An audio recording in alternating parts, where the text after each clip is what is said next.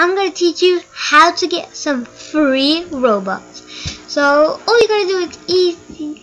You just kind of want to go to MicrosoftRewards.com, sign into your Microsoft account and whatever. Do your daily polls and everything you're supposed to do. And blah blah blah blah blah. Do everything, do everything randomly. I don't even watch these kind of movies. Blah blah blah blah blah. And yeah, it actually works. No joke. As you can see, I do have Robux because I use some of it. And yeah, so so if you want to get a hundred Robux, you're gonna want to get 1,500 points.